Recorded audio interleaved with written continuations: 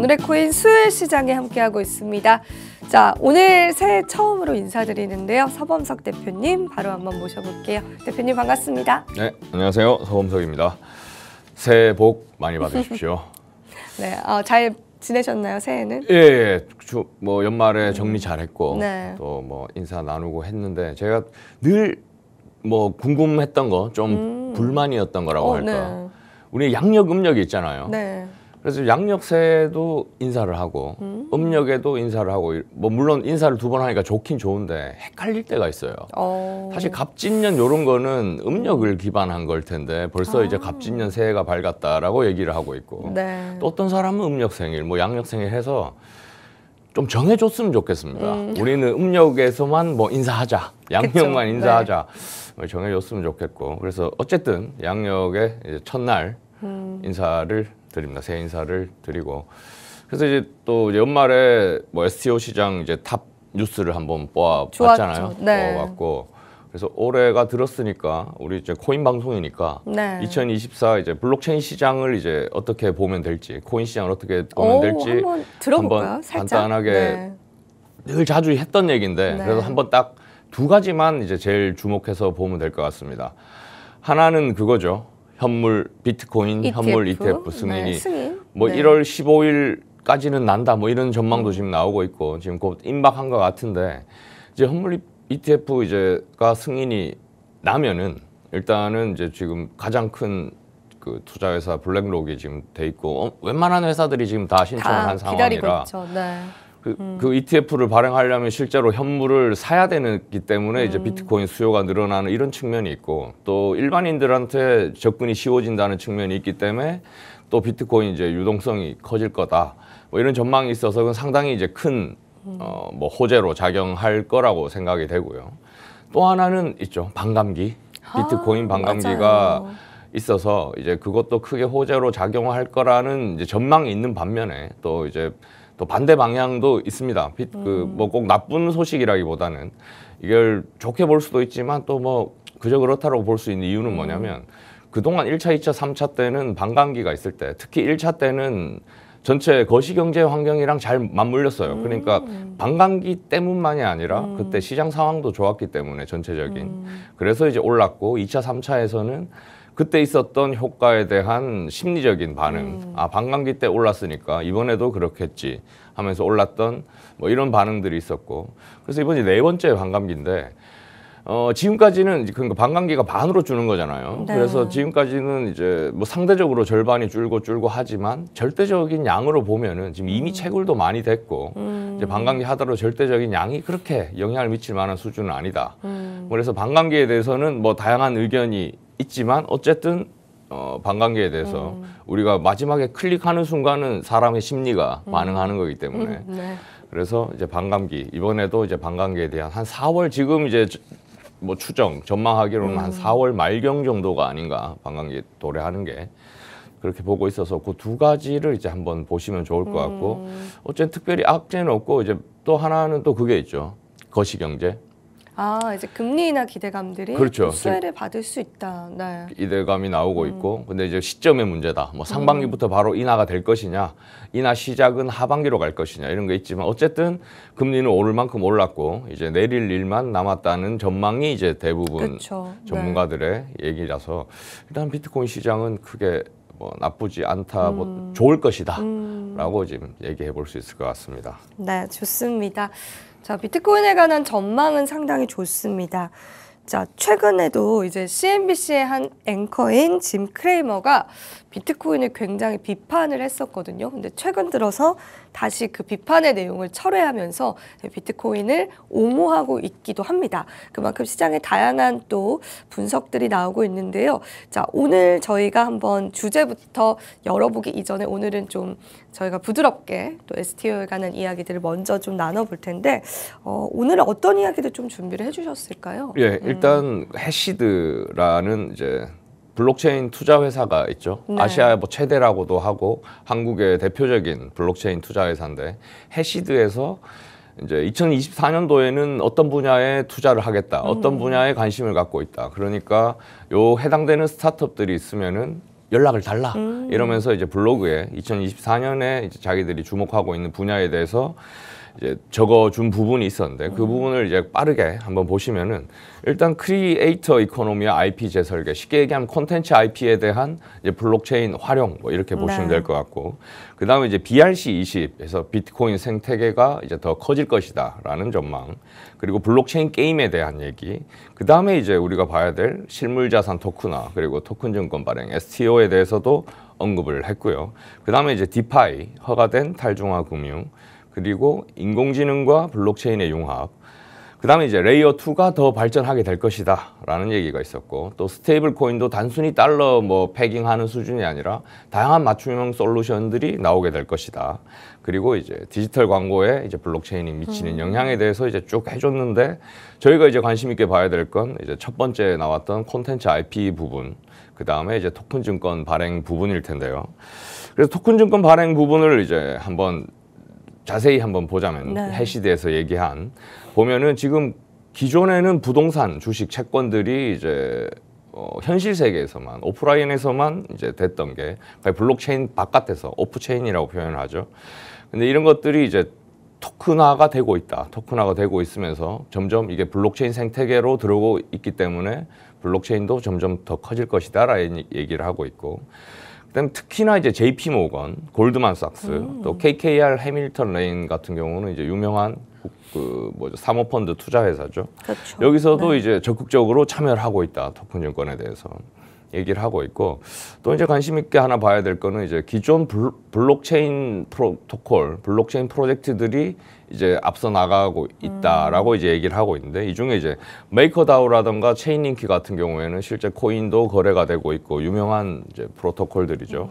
그다음에 이제 메이플 파이낸스, 백드 파이낸스, 시큐리타이즈 이런 것들을 얘기하면서 STO 분야를 상당히 이제 관심 있게 보고 있는데 어, 여기서 이제 여기서 해시드도 마찬가지로 STO 분야에 대해서 이제 크게 인프라 그러니까 기술 기업 쪽으로 범주를 나누고 아니면은 자산에 대한 여러 크게 두 개의 범주로 나누고 있습니다.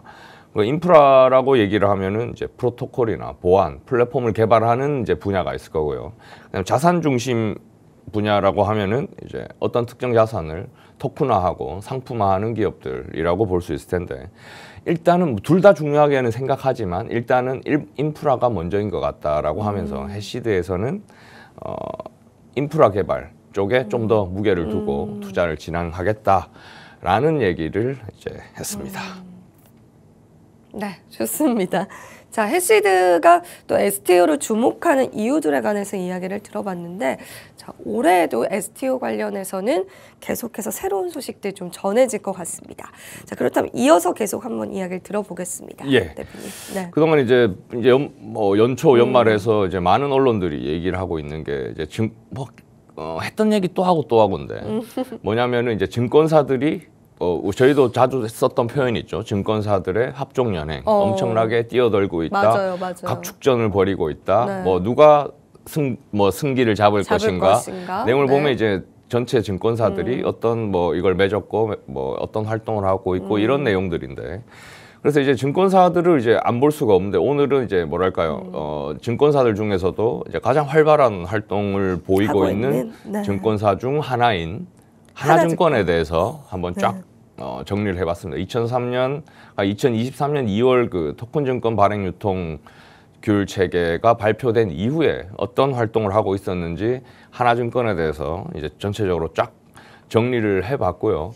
그래서 이제 시간이 될 때마다 이제 각 증권사들이나 다른 업체별로 이제 어떤 특정 뉴스가 있을 때 그 뉴스뿐만 아니라 그동안 있었던 것들을 한번 쫙 정리해 보면은 뭐 하나증권이 열심히 하고 있다 이, 뭐 이런 측면에서도 이제 보셔도 될 것 같지만은 하나증권이 이제 어떤 업체들과 업무 협약을 맺고 있고 어떤 관점에서 이 STO를 이제 접근하고 있는지 보실 수 있, 그게 좋을 것 네. 같아서 준비를 해봤습니다. 그래서 한번 쭉 한번 볼까요? 네, 하나증권 한번 보겠습니다. 예. 네. 그래 전체적으로 이렇게 리스트업을 한게 이제 두 페이지인데 어, 지금 일단 최근 뉴스로 지난주 뉴스로는 이게 있었습니다. 하나증권에서 이제 조직 개편이 있었는데 그래, 디지털 자산센터라는 걸 이제 신설을 했고 그래서 쭉쭉쭉쭉 뉴스들이 있는데 각각 총 한 열개가 조금 넘는 이제 뉴스들인데 이걸 하나씩 하나씩 한번 볼게요. 간단하게. 그래서 아까 디지털 자산센터 신설한 내용입니다. 물론 이 건물을 새로 지었다는 얘기는 네. 아니죠. 아니고 어, 조직 개편을 하면서 어, 뭐 작던 부서를 좀 부서를 키우면서 STO나 핀테크에 대해서 좀 더 집중을 하겠다라는 이제 의지를 밝혔고 어, 신년사에서도 하나증권 신년사에서도 이런 내용이 이제 앞으로 먹거리 미래 먹거리에 대해서 STO를 이제 언급했다는 점, 그래서 상당히 이제 하나증권에서는 STO에 대해서 뭐 진심을 다하고 있다 라고 말씀을 드릴 수 있을 것 같고요. 그 다음에 이제 요거는 이것도 12월에 있었던 일인데 다날 엔터테인먼트에 대해서 이제 하나 금융그룹이 오. 다날 엔터테인먼트에 투자. 투자를 한 거죠. 네. 투자를 한 거고 그래서 이 투자금은 이제 STO나 신사업 육성에 사용할 거라고 음. 하는데 어, 요 7월 정도인가 다나 엔터테인먼트랑 협약을 맺은 게 있어요. 하나금융 뒤에서 오. 나올 텐데 그거의 이제 후속적인 움직임이 아닌가 이렇게 음. 보이고요. 그다음 일루넥스와도 업무 협약을 했는데요. 일루넥스는 어떤 기업이냐면 특허에 대한 어, 뭐 기술 특허를 이제 STO 발행을 위해서 이제 상품을 개발하고 음. 또 조각 투자 플랫폼을 뭐 만들고 운영하는 음. 뭐 이런 이제 역할을 하면서 이제 하나증권과 이제 업무 협약을 맺은 거죠. 그래서 특허 기반 STO도 나올 수 있겠구나라고 이제 생각을 해보시면 될 것 같습니다. 어. 그렇겠네요. 예. 네. 그래서 우린 그동안 부동산, 미술품, 뭐 미술품, 뭐, 그 정도였는데 네. 이제 이런 다양한 이제 시도들을 하고 있다. 오. 물론 이게 시도를 한다고 해서 다 이제 되는 제도권 건 되는 건 아니지만 네. 이런 시도들이 있다. 이렇게 알아주시면 좋을 음. 것 같고. 그다음에 SKCNC입니다. SKCNC도 이제 블록체인 사업을 상당히 이제 열심히 하고 있는 기업인데 어 이제 STO 요그 음. 하나증권에서 STO를 플랫폼을 구축을 할 때 블록체인 체인제트 보안 토큰이라는 서비스를 SKCNC에서 이제 제공하게 되게, 되게 될 거다라는 내용이고 아까 해시드 이제 말씀드릴 때 인프라 부분 자산 부분 이렇게 두개 나눴었는데 SKCNC 같은 경우에는 자산 어 인프라 부문이 되겠죠. 이런 플랫폼을 구축하고 개발하고 그래서 체인제트에 대해서 잠깐 이제 좀 더 자세히 보시면은 기업 측면에서는 토큰 청약이나 배정할 수 있는 서비스를 제공할 수 있게 되고 투자자 입장에서는 뭐 접수를 접수 주문을 하고 어 매수 매도 서비스를 하는 뭐 이렇게 보시면 될 것 같습니다. 네, 좋습니다. 자, 하나증권이 굉장히 또 적극적으로 STO 사업을 추진하고 있는데요. 우리가 그 과정들 속에서 또 STO 관련해서 어느 정도 힌트를 얻을 수 있을 것 같습니다. 어, 많은 증권사들이 열심히 STO 사업에 따, 뛰어들고 있지만 그 중에서도 하나증권이 좀 단연 돋보이는 것 같은데요. 자, 추가적인 내용들도 대표님 바로 한번 들어볼까요? 예. 네. 재미있는 내용이 많습니다. 아까 이제 SKCNC 얘기를 했었죠. 원래 S, 그 STO 플랫폼 구축 사업에 이제 사업이 총 한 100억 규모의 사업인데 이 주 사업자로는 INF 컨설팅이라는 회사가 됐고 그건 IT IT 센의 자회사죠. 이런 큰 프로젝트가 있고 또 SKCNC가 그 한 부분을 맡았다고 보시면 될 것 같습니다. 그래서 IT 센은 지난번에 한번 말씀을 드렸던 것 같은데 어쨌든 플랫폼 구축 사업에 대해서 100억짜리 규모로 하고 있고 플랫폼이 아마 하나증권에서 제일 빨리 되지 않을까라는 전망이 나온 이유기도 합니다. 이 부분 때문에. 그리고 이제 피나클 이제 뭐 또 이제 이거는 이제 역시나 많이 했던 뭐 부분이 자- 기초 자산인데 상업용 부동산에 대해서 이제 STO 사업 모델을 개발한다. 피나클이 피나클 업체에 대해서는 이제 처음 말씀드리는 것 같아요. 그동안 이제 부동산 하면은 뭐 몇 가지 있었죠. 카사도 있었고 있었는데 피나클은 처음인데 어쨌든 피나클은 이제 상업용 조각 투자 플랫폼 레딧을 음. 운영하고 있던 이제 핀테크 기업인데 여기랑도 이제 업무 협약을 맺었고 하나증권이 이제 엄청나게 다양한 방면의 기초 자산을 확보하기 하- 위한 어. 노력을 하고 있다. 맞아요. 그렇네요. 보니까. 네. 뭐 다 이따가 또 더 재밌는 게 많은데 뭐 다 하고 있다고 보시면 돼요. 제가 쭉 네. 볼게요. 여기도 네. 이제 오아시스 비즈니스라는 것도 이제 물론 뭐 큰 틀에서 상업용 음. 부동산 조각 투자 플랫폼을 출시하기 위한 업무 협약인데 이 오아시스 비즈니스 회사는 어 뭐 권리금을 분석하는 권리머니 또 투자 업무 지원 솔루션을 운영하는 기업인데 소상공인의 권리금을 분석하는 서비스라니까 뭐 음. 그냥 단순히 이제 상업용 부동산보다는 뭔가 조금 더 발전된 형태가 아닐까 기대를 해볼 수 있을 것 같고 그다음에 아까 말씀드렸던 다날 엔터테인먼트 투자를 얼마 전에 유치를 그러니까 하나금융그룹에서 다나렌터에 이제 투자를 하면서 STO 사업에 더 할 거라고 얘기를 했는데 기존에 7월달에 이제 이렇게 업무 협약이 있었습니다. 콘- 콘텐츠 기반 토큰 증권 생태계 구축 및 공동 비즈니스 발굴이죠. 이때 하고 있었는데 이제 뭐 자금에 대한 것도 하나가 하나 금융그룹에서 지원을 해주는 이런 그림으로 보시면 될 것 같고 다날엔터에서는 뭐 음원, 영화, 굿즈, 공연 이런 이제 기초자산들을 확보하고 있습니다. 그다음에 요게 저는 재밌어 제일 어, 재밌었는데 어 떤 건가요? 식신과 업무 협- 식신이라는 오, 회사인데 네. 보면은 이제 food tech 및 외식업 분야의 STO를 위한 플랫폼 개발 및 운영이라고 돼 있습니다. 그래서 식신 회사를 보면은 모바일 식권 서비스를 했었고 아. 또뭐 맛집 추천 서비스도 했었고 뭐 이런 건데 뭐 어떤 식으로 구현이 될지는 모르겠어요. 그러게요. 잘잘 네. 음. 모르겠는데 어쨌든 어, 재미있다. 어, 푸드테크와 뭐 외식업과 이제 STO를 그러게요. 결합한다. 네. 이게 상당히 재밌었고 뭐 계속 볼게요. 이것도 재밌었습니다. 크리시아 미디어라는 회사와 업무 협약을 맺었는데 이 회사는 어, 유튜브 채널 성장 분석 서비스 팬다알파라는 것을 운영했는데 그러니까 유튜브 채널에 이제 뭐뭐 다양한 괜찮네요. 이건 예. 아이디어가 정말 괜찮네요. 네. 그래서 아마 이제 유튜브를 누군가를 시작하고 싶은데 네. 뭐 혼자 이렇게 할 수도 있지만 뭐 이렇게 팀을 꾸려야 될 수도 그쵸. 있잖아요. 그러면 맞아요. 음. 이제 투자금을 받아서 유- 수익금을 나눈다. 뭐 이런 컨셉일 것 같아요. 괜찮을 것 같아요. 이것도 네. 상당히 재밌었고 어, 혹시 유튜브를 이제 제대로 한번 한번 활용해 보시면 좋을 투자를. 받아야 될 것 같습니다. 네. 예, 저도 꼭 투자할게요. 아 감사합니다. 네. 계속 쭉 들어볼게요. 예. 네. 이제 이제 뭐 마지막입니다. 마지막인데 프린트 베이커리라는 곳입니다. 이름은 상당히 재밌는데 이제 미술품 관련한 이제 STO를 사업을 추진하기 위해서 이제 프린트 베이커리와 업무 협약을 했는데 어뭐 서울 옥션은 이제 몇 번 소개를 해드려서 이제 아시겠죠. 서울 옥션이랑 간 아- 아트 센터의 이제 관계사라고 합니다.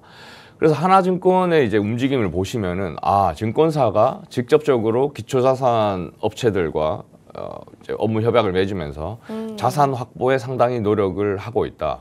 플랫폼 푸- 구축은 구축대로 지금 진행을 하고 있죠. 아까 IT 센이랑 네. 이제 100억짜리 사업을 하고 있으면서 하는데 그러니까 뭘 토큰으로 이제 발행할 거냐라는 기초 자산이 뭐냐라는 뭐 이런 문제가 있기 때문에 이걸 사전에 이제 확보하는 움직임이라고 볼 수 있을 것 같고 근데 지금 이제 승인되는 속도나 이런 것들로 봤을 때 이 중에 얼마나 토큰 증권으로 그러니까 증권으로 투자 계약 증권으로 뭐 승인이 될지 안 될지는 알 수 없지만 이렇게 다양한 시도를 하고, 하고 있다. 있다. 그래서 네. 계속 관심을 갖고 있다가 또 청약이 시작되면 네. 또 바로 움직일 수 소식을 있겠죠. 알려주시면 네. 감사하겠습니다. 네, 알겠습니다. 네.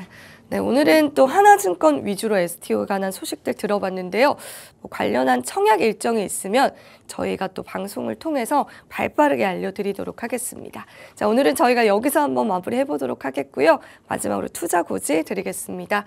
네, 본 방송에서 제공하는 정보는 이 투자 판단에 대한 조언일 뿐입니다. 가치 판단 상승 하락 보장하고 있지 않다라는 점 다시 한번 유의 부탁드리고요. 저희는 내일 이 시간 다시 찾아뵙도록 할게요. 시청해주신 여러분 고맙습니다.